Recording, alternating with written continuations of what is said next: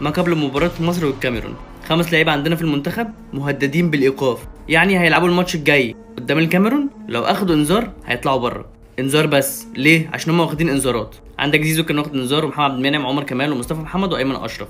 طب أنا عايز أفهم التلاتة دول لو طلعوا مين هيقف لنا في الدفاع؟ حرفيا مين؟ أحمد حجازي سافر ألمانيا عشان هيتعالج من الإصابة بتاعته لأن الإصابة بتاعته قوية شوية وهيغيب لمدة شهر تقريبا. في احتمال بنسبة 90% أبو جبل هيشارك في الماتش ودي حاجة كويسة جدا. أخيرا خبر حلو. شوية أرقام هقولها لكم من بطولة أمم أفريقيا. أكتر منتخب سجل أهداف منتخب الكاميرون. 11 هدف. أكتر منتخب خلق فرص برضو منتخب الكاميرون.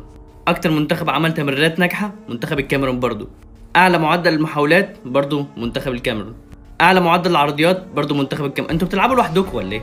الحمد لله في حاجة غير الكاميرون. أفضل دفاع في البطولة دفاع السنغال. أكتر كرات جت في العارضه منتخب مصر أخيرا مصر.